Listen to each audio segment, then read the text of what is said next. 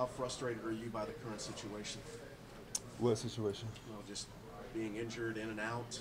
I mean, I, all I can really do is control what I can control, and uh, you know that's right now is just rehabbing, uh, trying to come back as strong as possible, um, as soon as I possibly can, and um, that's all I can really do right now. Did you you rush it? Did you rush it last week? Uh, I don't know. I mean, the time limit for you know usually rotator cuffs are four to six weeks. You know, I felt during the week that you know I had the opportunity to play. Um, you know, right at that kind of four, three weeks, four week mark, uh, and um, you know I just didn't have the strength and things like that to be able to go out there and play a full, complete game. So, um, you know, the medical staff, Kevin, you know, decided to you know hold me out so I don't you know do anything worse to it. So, When are you hoping to play again? uh, I mean, as soon as possible, as soon as possible. So, you know, we just got to go, you know, through the process again and uh, rehab and get back with the docs and uh, try to strengthen it as much as possible and get the pain away and uh, try to get back on the field as soon as So possible. do you think, do you think playing last week set you back on, in your uh, recovery?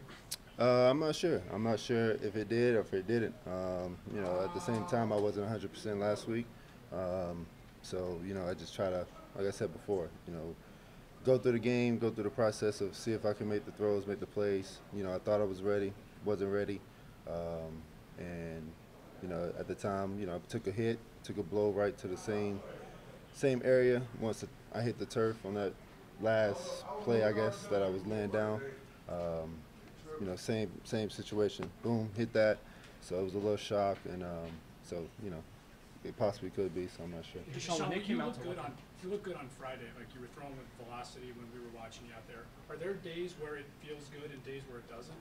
I mean, I wouldn't sit here and say I was I was feeling perfect on Friday. Uh, you know, I was pushing through it, so because I'm a competitor. But you know, I, I felt like I had enough. But at the same time, though, you got to realize the reality. The reality in practice is very controlled, especially Friday. You call it fi- Fast Fridays for a reason, and uh, you know the fact that you can't put in until you actually you know go out there is on Sundays, and bullets is flying. You got to be able to react and not think about each throw and not know you know where you're going to throw the ball and how you're going to throw the ball and and and uh, you know the velocity, the speed, the tempo, all that stuff. So, you know, um, you know, we got a little taste of it in three or four drive series, and um, yeah, it just you know at the end of the day, you know, just it just wasn't right. Deshaun, when they came out to look at you, um, I guess you cleared a concussion test or whatever.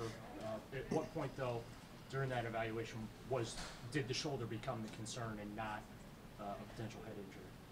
Uh, the concern was the shoulder from from the jump. I didn't know about the concussion until I went in the second time. So uh, the spotter from up top and the lady came down, and that's when they when I came out.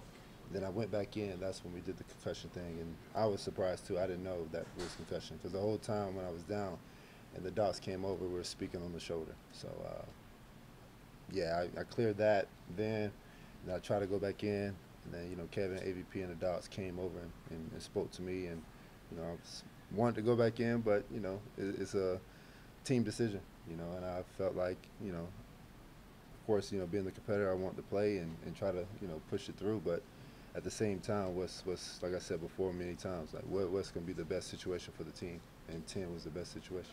Deshaun, in general, right now, uh, I, I hear speculation, I see things written that perhaps maybe you, don't- that you don't want to play. So can you just a- address the motion? I wouldn't ever want to play. I just I just worked my ass off for two years to get back to playing. So why wouldn't I want to play? This is what I've been doing since I was six years old. So why wouldn't I want to play? I see the I see the same things. I see all the the narratives, this, that, the third. I mean, all that stuff is just trying to call controversy and, and, and commotion. You know, I'm fine. I'm happy. Uh, I'm not happy with the injury, but uh, you know, I'm, I'm in a great space mentally. I'm in a great space spiritually. Uh, physically, everything else is in a great space except my shoulder. Uh, so we're working hard to get that back. But yeah, why wouldn't why wouldn't I want to play? I don't I don't do this for no other reason. So uh, yeah, I see that too. I see the whole contract situation and all that stuff. Yeah, that stuff is just for people to talk and, and just create narratives. So Someone tried to speculate that you might not even want to play for the Browns. Like you might be looking for somewhere else to go. why would I do that? I, I, I'm not saying it. I'm just saying that's just some a national, someone national, you know, like threw that out there. I mean, none of those national people know me. They don't talk to me. So why would why would anybody listen to any of that stuff? All that is speculation. So if it ain't coming from me, then all the other shit is bullshit. So Deshaun, Is during why you the, thought it was important to, to talk today, because there's just so much stuff swirling around? Did you want to address it even in a week that you're not starting normally?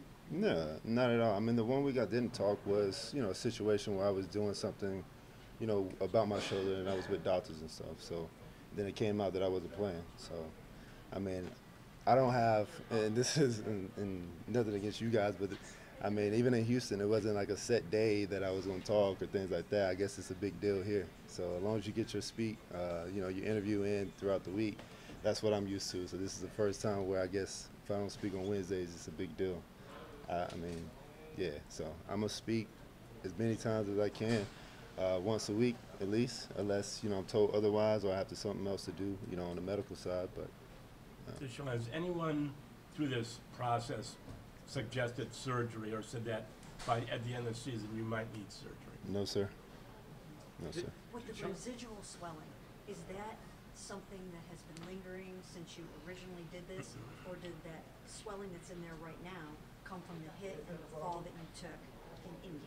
No, it was from the original hit. You have to remember too. It's like, you know, you hear doctors and you hear people. And like I, I think I mentioned last week too. Is uh, you know, this injury is more like a, you know, you got to look at it as a pitcher, as a thrower, and usually pitchers don't take collisions. Also, you got to remember too. I got hit hard on it. It's like a car crash, so that's gonna create more swelling than just getting pulled back or just throwing and it, it just strained itself. So, you know, there's other stuff that kind of factor in to the bruising and the swelling around the rotator cuff. I remember last and time so, I spoke to you, um, you had mentioned that that MRI came, uh, the Saturday before the game, because the swelling had to go down, and that's when they found the, the micro tears.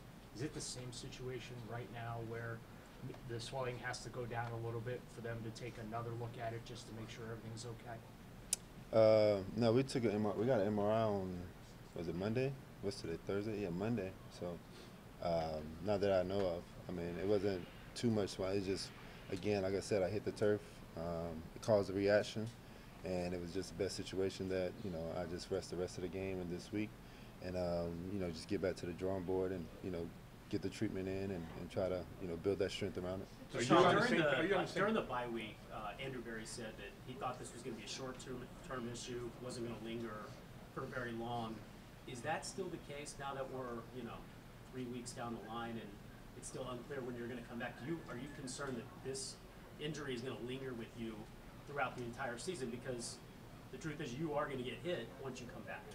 Well, yeah, but at the same time, throughout those weeks that I'm not playing, I am doing strength work and, and building the muscle around it.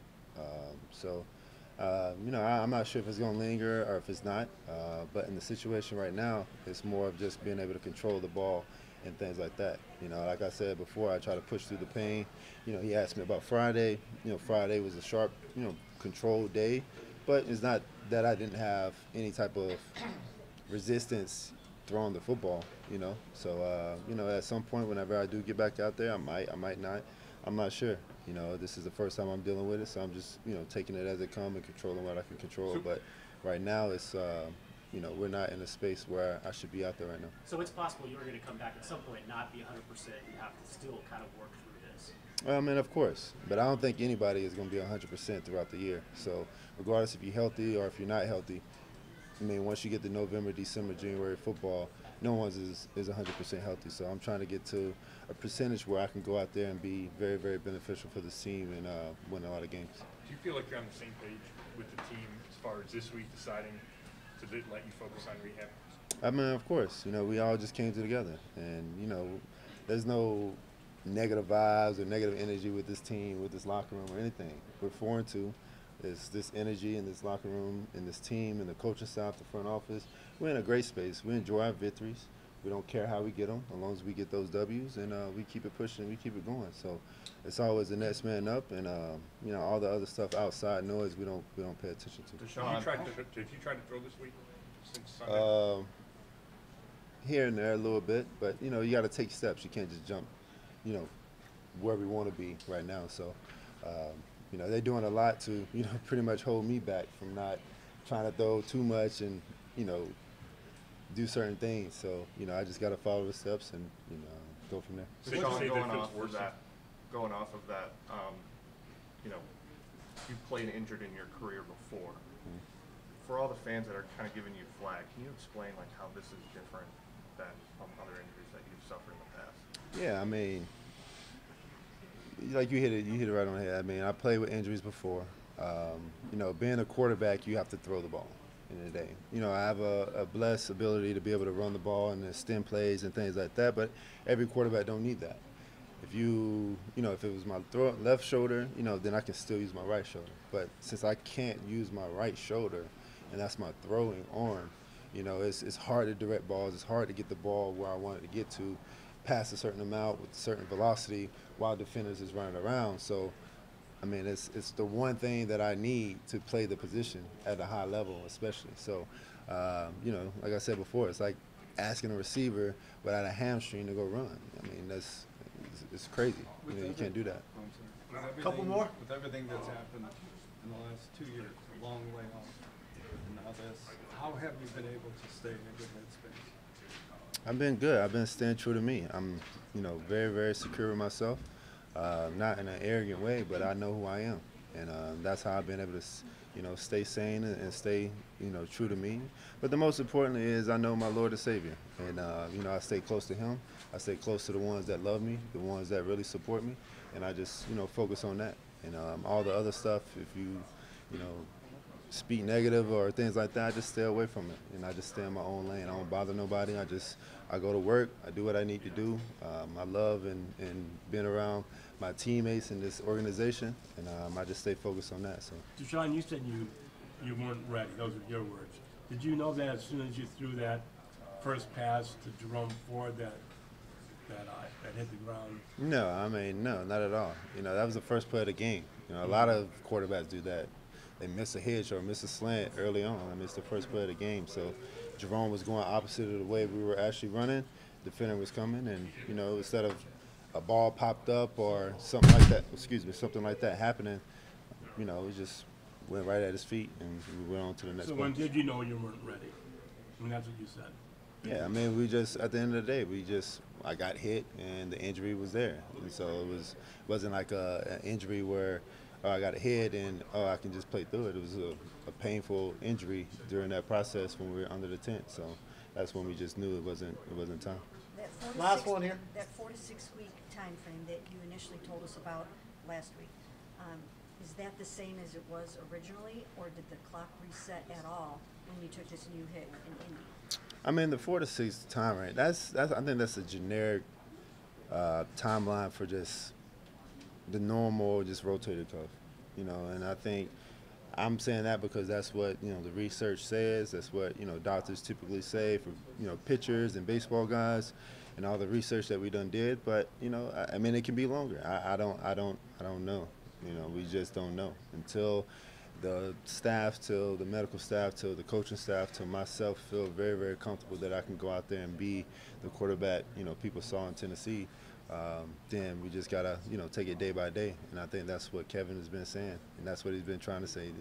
There's no certain timeline on a, you know, on certain injuries. Some, you know, people bodies react differently, and s- people, you know, way they, you know, come back react differently. So it might be shorter, it might be longer. You know, that's why I said it could be tomorrow, it could be next week. I don't know. You know, we just have to take it day by day. Thank you. Thank you. Thanks,